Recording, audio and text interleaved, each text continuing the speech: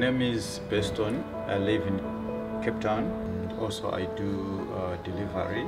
Interbet helped me to realize my dreams.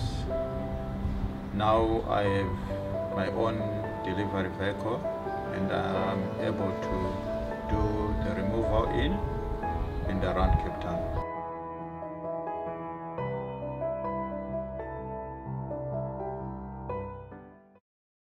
Hi and welcome to all the racing fans around the globe joining us for this pre-recorded show which is recorded today, Tuesday for the Wednesday meeting on the 20th of March which will take place at Hollywoodbets Scottsville.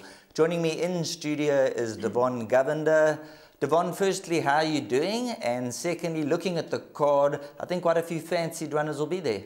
Yes, Sheldon, I'm doing very well. Thanks for asking. Yes, I had a good look at the card, and I do believe it could be a, a, a card for favorite backers. Right, let's get straight into the action for race number one. We'll take a look at the betting with number nine, Soho Star, the Water Winter currently at 18 to 10 from the Yogas Govender stable after running second to China Berry on debut with excuses. Number seven, Cat's Pajamas, Positive comments from Frank Robinson. That is 33 to 10 from 4 to 1. And the number 10, New Frontier, is trading at 7 to 2. Now let's get straight with number 9, Soho Star. First time out was at Scottsville over 1,200 metres. A cracking second, despite going off at 66 to 1. Devon, just with that natural improvement from the first run to the second run, I think this could be the right horse on the card. Yeah, definitely has uh, has to have a massive uh, winning chance. Will have come on after that uh, decent debut effort, finishing second, 0.3 lengths behind the winner on that occasion. But I am a little bit cautious because did go off at long odds on debut, so was unfancied on debut. I wouldn't be going head on and taking that uh, 18 to 10. I'll keep a close eye on some of the first timers, especially number seven, Cat's Pajamas, who's extremely well bred. Yes, looking at number seven, Cat's Pajamas, Frank Robinson. We know that stable. They do exceptionally well with their babies and they got a conveyor belt of good horses.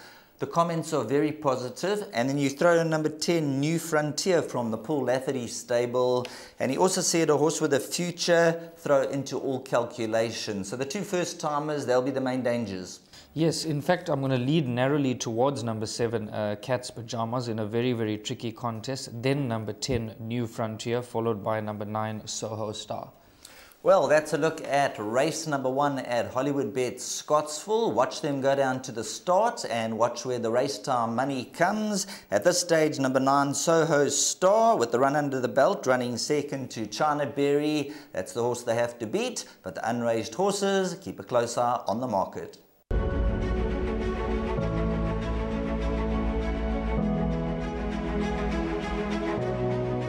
It's good fun. Days like these are, are great. You get the whole industry together. Um, and to have, you know, companies um, and corporations like Interbet and Cape Racing who are uh, so generous with um, sort of time and, um, and energy into into making a day like this possible is uh, it's it's fantastic for everyone.